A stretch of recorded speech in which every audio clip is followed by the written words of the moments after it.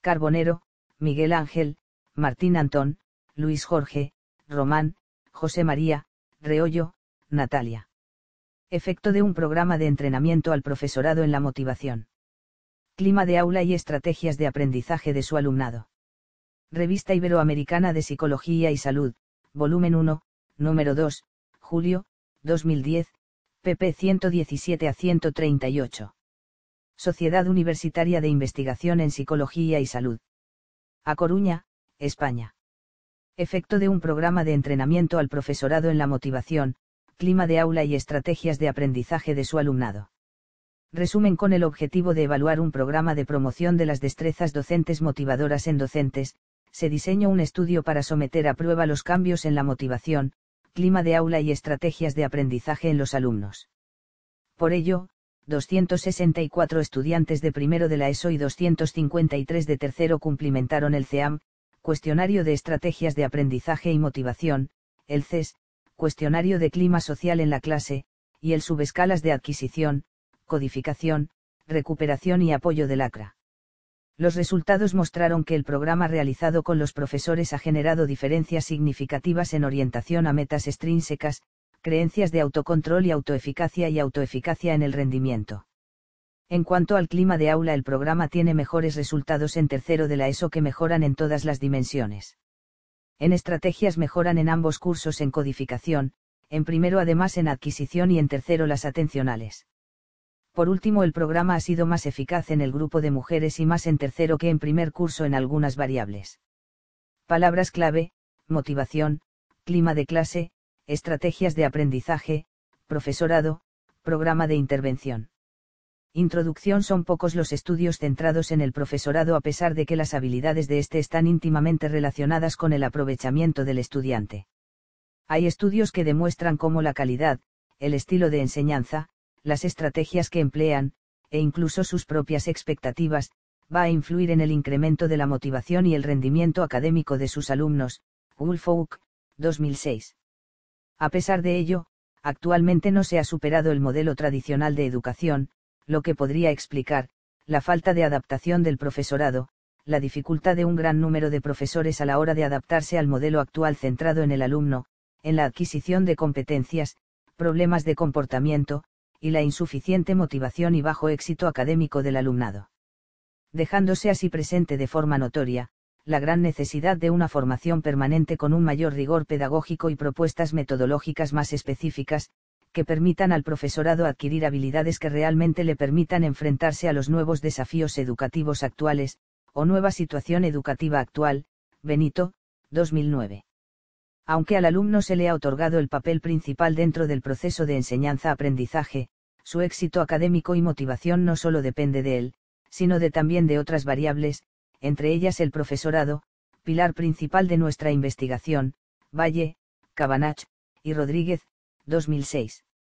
Los efectos de la enseñanza en el alumnado van a ser decisivos en las primeras etapas educativas, pero también en años posteriores, encontrarse con profesorado que ponga en juego habilidades docentes eficaces se puede convertir en una forma efectiva de recuperar a estudiantes con baja motivación y rendimiento académico. La falta de motivación en las aulas se ha convertido en uno de los problemas centrales de la educación en España, Valle et al. 2006, y son numerosas las investigaciones que ya desde hace un tiempo muestran cómo la motivación influye significativamente en el aprendizaje del alumnado, Alonso Tapia, 2005A, 2005B. Se ha observado cómo alumnos con una media o escasa motivación obtienen resultados más bajos en rendimiento académico, Lozano, 2005, y en el uso de estrategias de aprendizaje. Por tanto, las carencias en habilidades de enseñanza adecuadas van a contribuir a la desmotivación del alumnado, condicionante principal de su poca implicación en las tareas escolares, el escaso e inadecuado uso de estrategias de aprendizaje, y del bajo rendimiento académico y desfavorable clima escolar, Benito, 2009, Fernández, 2008. Debido al destacado papel activo que posee el estudiante en el proceso de enseñanza-aprendizaje, mayoritariamente los estudios dirigidos hacia este constructo se han basando en él, considerándolo como una de las variables principales que propician esta motivación o falta de motivación. Pero si la intervención se dirige hacia el profesorado, ¿cómo va a condicionar esta formación a la motivación, el uso de estrategias de aprendizaje y el clima escolar de la clase? La filosofía de logro de una verdadera educación de calidad debería llevar al profesorado a una reflexión constante sobre los procesos de enseñanza y aprendizaje, asegurando así la aplicación de unas habilidades eficaces para la formación de nuestros alumnos. La escuela como institución y el profesor como agente socializador se enfrentan al reto de abrir las puertas del siglo XXI, introduciendo cambios en su organización y en su quehacer en aras a que estos se lleven a cabo no solo en el discurso sino en el accionar cotidiano del profesor. Es cierto que los alumnos pueden y deben aprender por sí mismos, pero también lo es que el aprendizaje puede hacerse con más rapidez y eficacia si se les ayuda. Román, 2006. Los profesores desempeñan un rol fundamental en la educación. Hoy en día, para ser un buen profesor, no basta con poseer determinados conocimientos y divulgarlos, sino que un buen profesional de la educación los ha de saber aplicar. Y además, ha de estar dotado de una serie de características personales y de habilidades docentes, métodos o estrategias de enseñanza, que favorecen el desarrollo de su trabajo, sus relaciones interpersonales y sobre todo un mayor aprendizaje significativo por parte de sus alumnos. Sin olvidar la relación entre profesor y alumno, Beltrán, García Alcañiz, Moraleda, Calleja, y Santiuste, 1987, Col, Palacios, y Marchesi, 1990, Genovari Gotzens, 1990, Pozo, 2000, Román 2008, ya que constituye para este último una importante fuente de apoyo y motivación, ejerciendo cierta influencia en su rendimiento académico. La pregunta que nos podríamos plantear ante todo ello es simple pero clara, las relaciones, la motivación y el rendimiento académico de los alumnos dependen del tipo de habilidades docentes que utiliza el profesorado.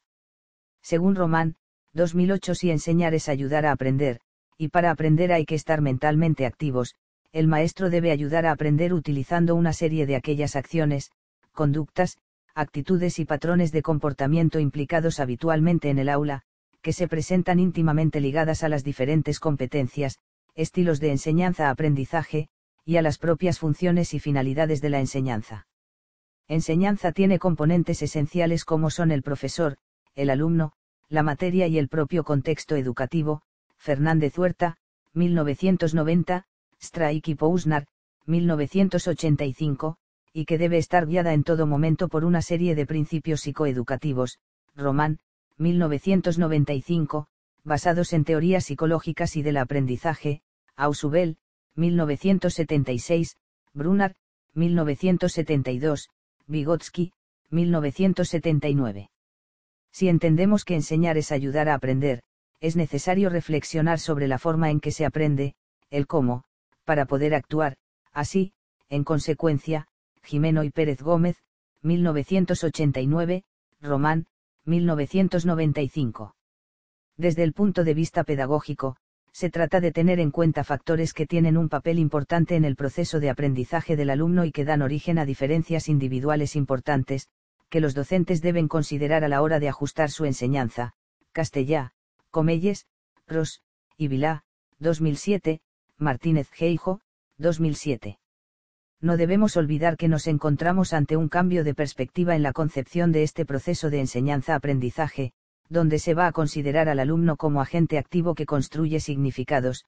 Beltrán, 1993, Beltrán y Genovar, 1996, y donde el conocimiento de los estilos de aprendizaje, como los presentados por Alonso, Gallego, y Hani 1994, Curry, 1987, Grasa y Rickman, 1975, Gregor 1985, Calv, 1982, 1989, Martínez Geijo, 2007, adquiere un renovado interés, ya que ayuda a comprender las diferentes formas de conocer, juzgar, sentir y actuar que individualizan el aprendizaje de nuestros estudiantes, González Pienda, Cabanach, Núñez, y Valle, 2002, Lozano, 2005, Martínez Geijo, 2007, Pozo, 2000.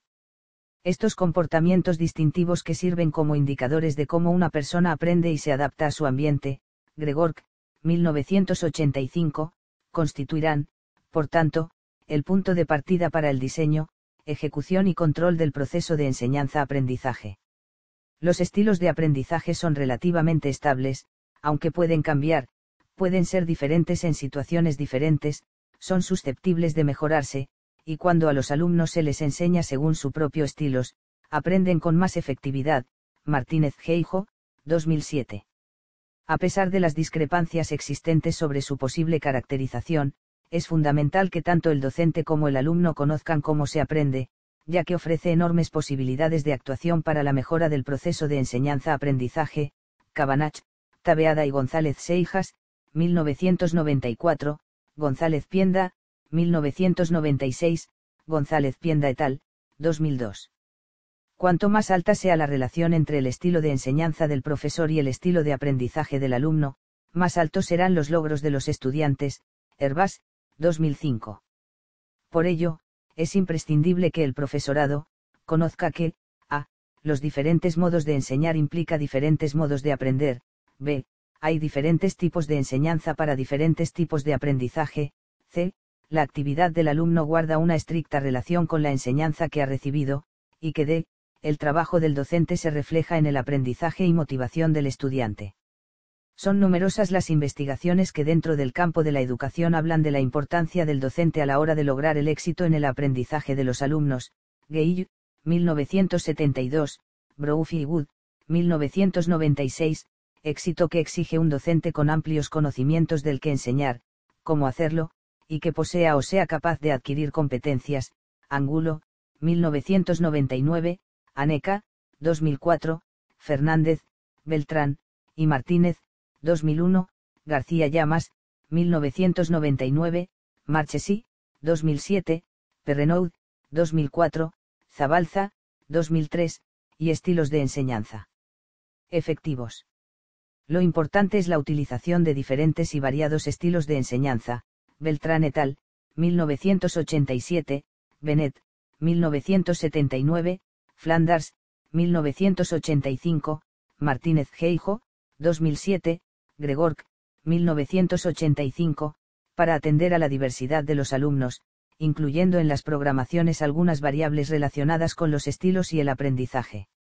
Es fundamental para el profesor conocer qué es lo que está haciendo, por qué y creer en ello, Gregory, 1985, siendo así, capaces de tener unos propósitos y unos objetivos claros, utilizando las estrategias y técnicas instructivas idóneas para motivar y apoyar a los estudiantes de forma adecuada, controlando la enseñanza y evaluando la importancia del aprendizaje, Herbas, 2005.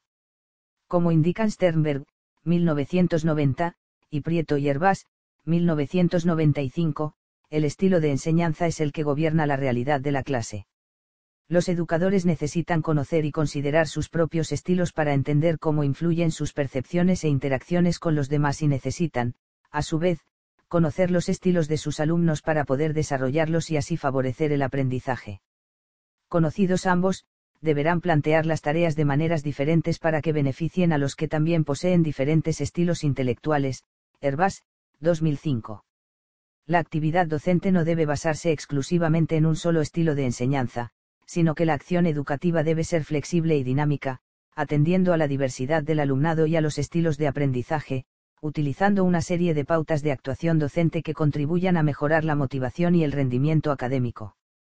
En consecuencia, el objetivo de esta investigación es profundizar en la comprensión de cómo una adecuada formación en habilidades docentes puede modificar la motivación y percepción del aula que tiene en su alumnado. Concretamente, los objetivos propuestos son, conocer la eficacia del programa en motivación en el primero y tercer curso de ESO. B. Analizar si existe alguna interacción en la eficacia del programa en la variable motivación, clima de aula y estrategias de aprendizaje en función de la variable sexo. C. Averiguar el efecto diferencial del programa en motivación en función del curso. Método participantes alumnado de varias aulas del primer y tercer curso de educación secundaria obligatoria de nueve centros educativos, tanto públicos como concertados, de la ciudad de Valladolid. Estos centros fueron asignados aleatoriamente a dos grupos, grupo experimental, alumnado que su profesorado siguió una formación específica sobre la importancia de tener en cuenta ciertas estrategias docentes que en principio mejoran la motivación de su alumnado. Grupo control, alumnado que cuyo profesorado no recibió dicha formación. La muestra de primero de la ESO estaba formada por 264 alumnos y alumnas, con una edad media de 12,7 años. En cuanto al sexo, el 51,5% eran mujeres y el 48,5% varones. Respecto a tercero de eso, han participado 253 alumnos y alumnas con una edad media de 14,9 años, y en los que el 54,5% eran mujeres y 45,5% fueron varones. La distribución entre el grupo experimental y control tal es prácticamente proporcional en ambos cursos, como se muestra en la tabla 1. Tabla 1. Distribución de la muestra por curso y condición experimental. Diseño se ha optado por un diseño cuasi experimental, de Poustast con grupo experimental y control equivalente. Aunque la asignación de los centros al grupo experimental y control ha sido aleatoria, el alumnado es el que pertenece a cada centro y aula, por lo que sea trabajo con grupos naturales. Variables variable independiente, programa de entrenamiento a profesores en habilidades docentes motivadoras, con dos condiciones experimentales, experimental, alumnado cuyo profesorado ha seguido el programa de formación. Control, alumnado cuyo profesorado no ha sido el programa de formación. Variables de comparación, curso, A, primero de eso y, B, tercero de eso, sexo, A, varón y, B, mujer. Variable dependientes, la motivación, con seis dimensiones, A, orientación a metas intrínsecas, B, orientación a metas extrínsecas, C, valor de la tarea, D, creencias de autocontrol y autoeficacia, E, autoeficacia hacia el rendimiento, y, F, ansiedad. Las estrategias de aprendizaje, con cuatro dimensiones, A, estrategias de adquisición de la información, B, estrategias de codificación de la diseño se ha optado por un diseño cuasi experimental, de Poustast con grupo experimental y control equivalente. Aunque la asignación de los centros al grupo experimental y control ha sido aleatoria, el alumnado es el que pertenece a cada centro y aula, por lo que sea trabajo con grupos naturales. Variables variable independiente, programa de entrenamiento a profesores en habilidades docentes motivadoras, con dos condiciones experimentales, experimental, alumnado cuyo profesorado ha seguido el programa de formación. Control, alumnado cuyo profesorado no ha sido el programa de formación. Variables de comparación, curso, A, primero de eso y, B, tercero de eso, sexo, A, varón y, B, mujer. Variable dependientes, la motivación, con seis dimensiones, A, orientación a metas intrínsecas, B, orientación a metas extrínsecas, C, valor de la tarea, D, creencias de autocontrol y autoeficacia, E, autoeficacia hacia el rendimiento, y, F, ansiedad. Las estrategias de aprendizaje, con cuatro dimensiones, A, estrategias de adquisición de la información, B, estrategias de codificación de la D, creencias de autocontrol y autoeficacia, refleja hasta qué punto el estudiante cree que su dominio de las asignaturas depende de su propio esfuerzo y de su modo de estudiar, y hasta qué punto se considera capaz de aprender lo requerido en las diferentes materias. E. Autoeficacia hacia el rendimiento, se refiere a las creencias de los estudiantes sobre su propia capacidad para alcanzar un buen rendimiento académico. F. Ansiedad, hace referencia a los pensamientos negativos de los alumnos durante los exámenes, que interfieren en los resultados, y a las reacciones fisiológicas que se ponen de manifiesto durante la realización de la prueba. Cuestionario de Clima Social en la clase, CES.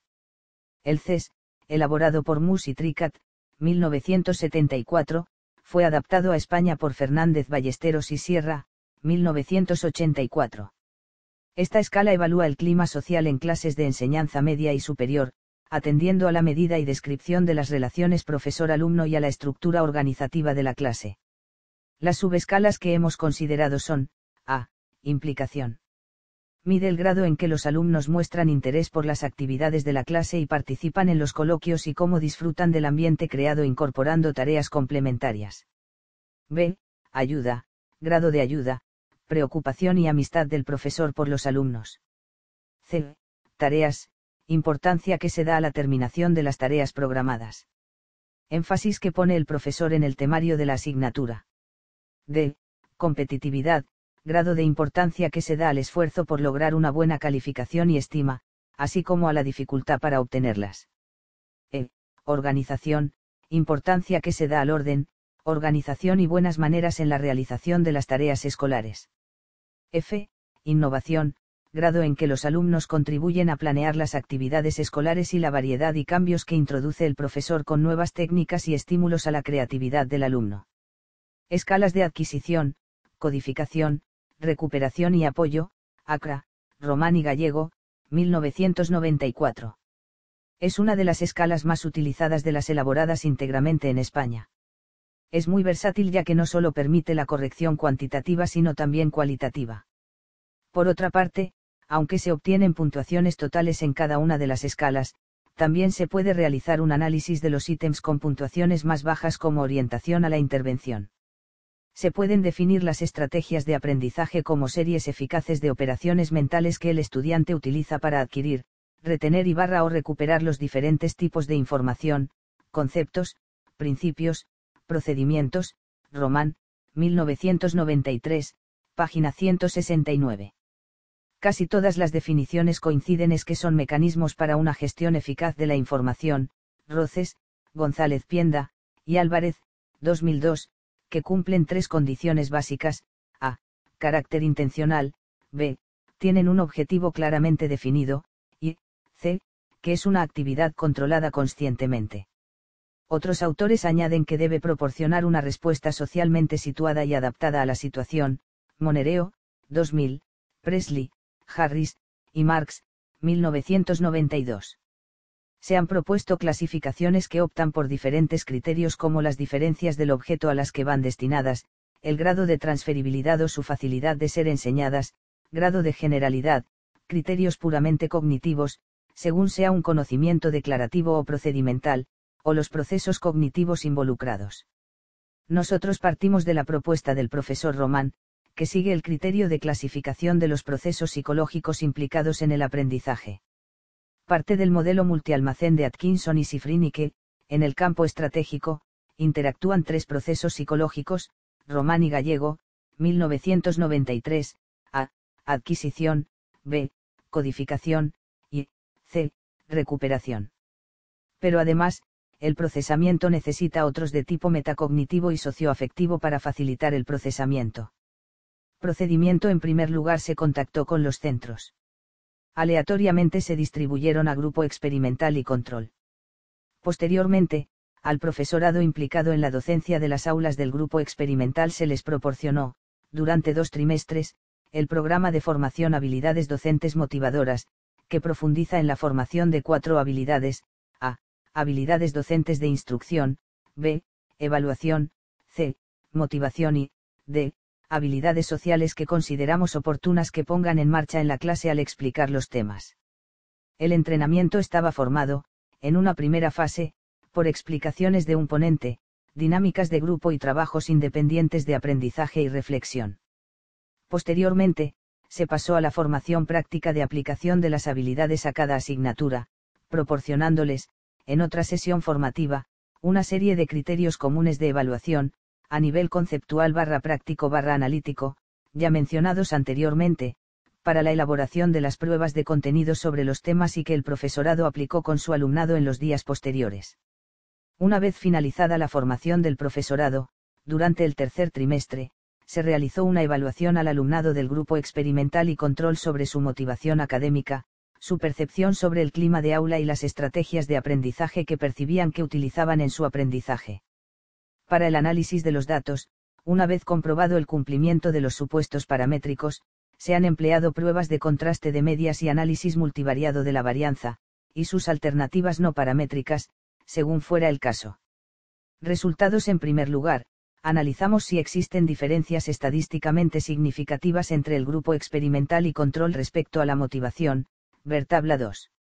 En primero de eso, nos encontramos con diferencias estadísticamente significativas en las variables orientación a metas intrínsecas, creencias de autocontrol y autoeficacia, y autoeficacia en el rendimiento, todas a favor del grupo experimental.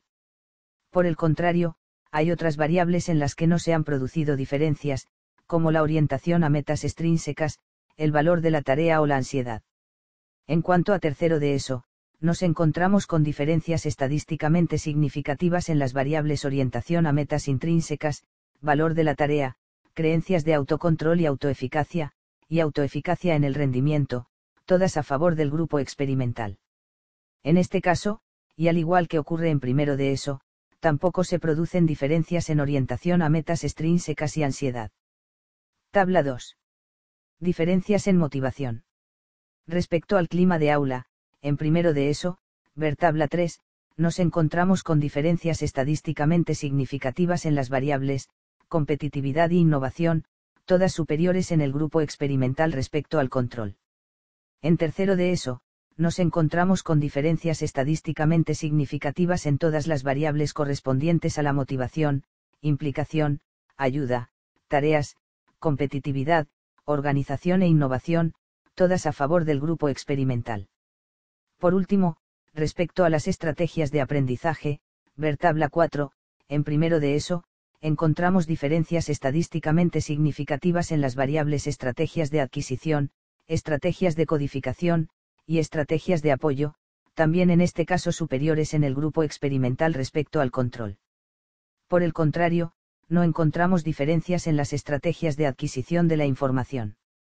En tercero de eso, nos encontramos con diferencias estadísticamente significativas en las variables estrategias de codificación, y estrategias de apoyo, también en este caso superiores en el grupo experimental respecto al control no hay diferencias estadísticamente significativas en las estrategias de adquisición. En cuanto a las estrategias de recuperación, aún no produciéndose diferencias estadísticamente significativas, nos encontramos con una tendencia, P10, a mostrar una mayor puntuación del grupo experimental. Otro de los objetivos que nos planteamos es conocer si existen diferencias en las tres variables en función de si su profesorado ha seguido o no el programa de formación, teniendo en cuenta el sexo. En primero de eso no encontramos diferencias. Sin embargo, en tercero de eso hay diferencias en la dimensión de la motivación autoeficacia para el rendimiento, y en las de clima de aula, implicación, ayuda y organización, ver tabla 5. Respecto a la autoeficacia para el rendimiento, nos encontramos con una muy superior puntuación de las mujeres del grupo experimental respecto al control, mientras que en los varones se producen puntuaciones similares en ambos grupos, por lo que podemos considerar que el programa ha sido diferencialmente más eficaz en las mujeres respecto a los hombres, en los que estos últimos no muestran diferencias estadísticamente significativas respecto a los varones del grupo control. En lo que se refiere a la implicación, ocurre justo lo contrario que en la variable anteriormente mencionada autoeficacia en el rendimiento. Nos encontramos con una muy superior puntuación de los varones del grupo experimental respecto al control mientras que en las mujeres se producen puntuaciones similares en ambos grupos. En la variable ayuda, nos encontramos con una mayor puntuación de los varones respecto a las mujeres del grupo experimental. Sin embargo, en el control ocurre todo lo contrario. La misma tendencia se produce en la variable organización.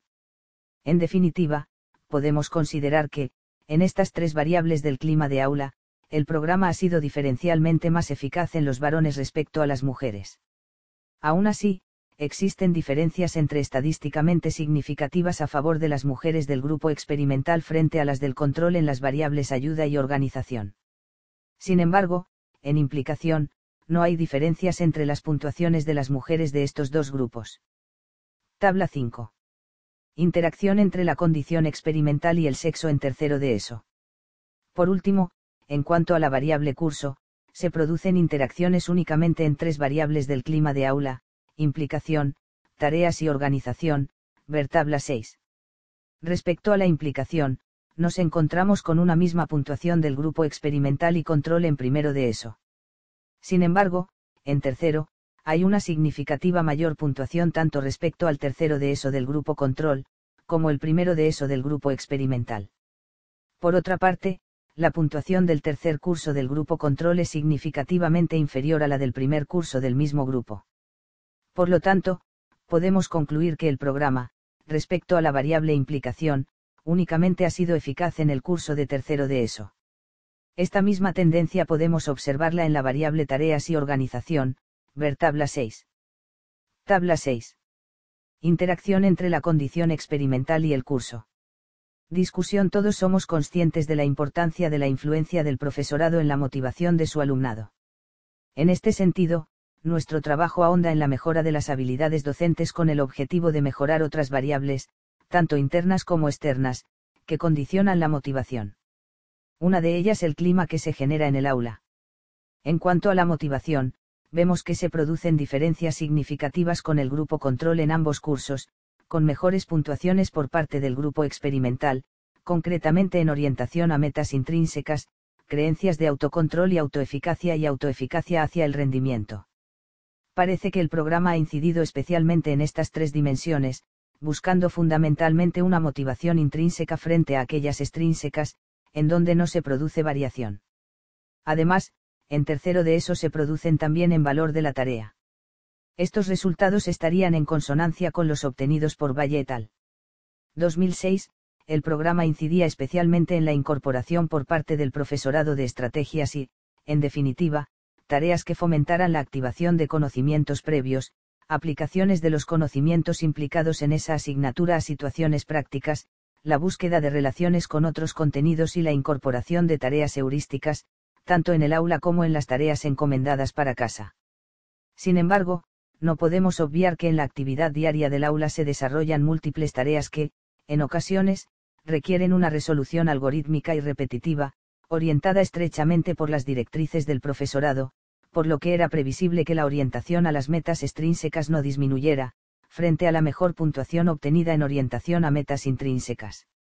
En cuanto al clima del aula, donde podíamos encontrar más cambios dado que el programa de formación incidía especialmente en estrategias didácticas y organizativas de mejora en la selección y aplicación de los diseños de instrucción, habilidades sociales, evaluación y motivación, variables íntimamente relacionadas con el clima del aula percibido por el alumnado, hemos podido comprobar que la percepción que tiene el alumnado del grupo experimental de las variables del clima de aula es superior a los correspondientes del grupo control, sobre todo en tercero de ESO, con puntuaciones superiores en todas sus dimensiones, mientras que en primero de ESO únicamente la competitividad e innovación, quizás por ser su cambio más fácilmente perceptible por el alumnado respecto a otras, como por ejemplo, las tareas, en donde el margen de cambio es menor debido a los hábitos instaurados en educación primaria, y que hacen que las tareas sean más inflexibles y generales que en tercero de la ESO, con contenidos y asignaturas más diversificadas. Algo parecido ocurre con la organización y ayuda. Los resultados que hemos obtenido se corresponden con los de autores como, Benito, 2009, Fernández, 2008. Respecto a las estrategias de aprendizaje, ambos cursos mejoran, en el grupo experimental, en estrategias de codificación aquellas más relacionadas con el procesamiento profundo de la información y de apoyo muy relacionadas con la motivación y el clima del aula. Además, en primero de eso también se produce una mejor puntuación en estrategias de adquisición, posiblemente debido a una mayor disponibilidad para la modificación de las estrategias al producirse recientemente el paso de la etapa de educación primaria a secundaria y que implica un cambio en el tipo de contenidos, métodos instruccionales, etc. Por el contrario, en tercero de eso, las estrategias de adquisición, atencionales, etc., pueden estar más consolidadas debido al aprendizaje y experiencias previas. Hay autores como, Beltrán, 1987, Coletal, 1990, Genovari Gotzens, 1990, Pozo, 2000, Román 2008, que han estudiado el tema de estrategias con resultados similares y bien con matices dependiendo el curso y la estrategia. En definitiva, vemos que se produce un cambio similar en los dos cursos de la ESO, aunque con ciertos matices. En general, hay una mayor disponibilidad de cambio en dimensiones más básicas por parte de primero de ESO, comparado con el alumnado del mismo curso del grupo control, frente a aquellas dimensiones que implican un cambio profundo o que exigen una mayor madurez, en donde se producen en mayor medida en tercero de eso respecto a sus compañeros del mismo curso del grupo control. En cuanto a las diferencias en función del sexo, únicamente se producen en la percepción del clima del aula, en donde se produce una homogeneidad en primero de eso, en donde no existen diferencias, frente a tercero, en donde se producen diferencias en autoeficacia para el rendimiento, con una puntuación superior de las mujeres del grupo experimental respecto al control frente a puntuaciones similares en los varones, por lo que el programa ha sido diferencialmente más eficaz en las mujeres. Respecto a los hombres, justo al contrario que en implicación, con una muy superior puntuación de los varones del grupo experimental respecto al control frente a puntuaciones similares en las mujeres. En el caso de la variable ayuda y organización se produce una muy superior puntuación de los varones del grupo experimental respecto al control, justo lo contrario de lo que ocurre con las mujeres, con una muy superior puntuación de las del grupo control respecto al experimental. Por último, respecto al curso, se produce la misma tendencia en las variables implicación, tareas y organización, con una misma puntuación del grupo experimental y control en primero de eso. Sin embargo, en tercero de eso hay una significativa mayor puntuación tanto respecto al tercero de eso del grupo control, como el primero de eso del grupo experimental. Por otra parte, la puntuación del tercer curso del grupo control es significativamente inferior a la del primer curso del mismo grupo. En definitiva, el programa únicamente ha sido eficaz en el curso de tercero de ESO, en donde parece que el profesorado está más abierto a introducir modificaciones y el alumnado más preparado para percibirlas. El programa llevado a cabo con profesores sobre habilidades docentes motivadoras ha sido muy eficaz, Carbonero, Román, Martín Antón, y Reollo, 2009, nuestros datos muestran una mejoría significativa en las estrategias de instrucción y motivación del profesorado, por lo que el uso de algunas estrategias como la activación estrategias con resultados similares y bien con matices dependiendo el curso y la estrategia. En definitiva, vemos que se produce un cambio similar en los dos cursos de la ESO, aunque con ciertos matices. En general, hay una mayor disponibilidad de cambio en dimensiones más básicas por parte de primero de ESO, comparado con el alumnado del mismo curso del grupo control, frente a aquellas dimensiones que implican un cambio profundo o que exigen una mayor madurez, en donde se producen en mayor medida en tercero de eso respecto a sus compañeros del mismo curso del grupo control. En cuanto a las diferencias en función del sexo, únicamente se producen en la percepción del clima del aula, en donde se produce una homogeneidad en primero de eso, en donde no existen diferencias, frente a tercero, en donde se producen diferencias en autoeficacia para el rendimiento, con una puntuación superior de las mujeres del grupo experimental respecto al control frente a puntuaciones similares en los varones, por lo que el programa ha sido diferencialmente más eficaz en las mujeres. Respecto a los hombres, justo al contrario que en implicación, con una muy superior puntuación de los varones del grupo experimental respecto al control frente a puntuaciones similares en las mujeres. En el caso de la variable ayuda y organización se produce una muy superior puntuación de los varones del grupo experimental respecto al control, justo lo contrario de lo que ocurre con las mujeres, con una muy superior puntuación de las del grupo control respecto al experimental. Por último, respecto al curso, se produce la misma tendencia en las variables implicación, tareas y organización, con una misma puntuación del grupo experimental y control en primero de eso. Sin embargo, en tercero de eso hay una significativa mayor puntuación tanto respecto al tercero de eso del grupo control, como el primero de eso del grupo experimental. Por otra parte, la puntuación del tercer curso del grupo control es significativamente inferior a la del primer curso del mismo grupo. En definitiva, el programa únicamente ha sido eficaz en el curso de tercero de eso, en donde parece que el profesorado está más abierto a introducir modificaciones y el alumnado más preparado para percibirlas. El programa llevado a cabo con profesores sobre habilidades docentes motivadoras ha sido muy eficaz, Carbonero, Román, Martín Antón, y Reollo, 2009, nuestros datos muestran una mejoría significativa en las estrategias de instrucción y motivación del profesorado, por lo que el uso de algunas estrategias como la activación